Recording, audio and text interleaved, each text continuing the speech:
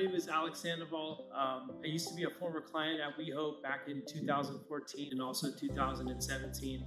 Um, that time in my life, I was extremely broken. I was homeless. I was in my addiction on alcohol and drugs. And um, I just remember being, again, in a completely broken space. And then WeHOPE took me in wholeheartedly. They loved on me, they gave me food, they gave me shelter, and it was just a blessing.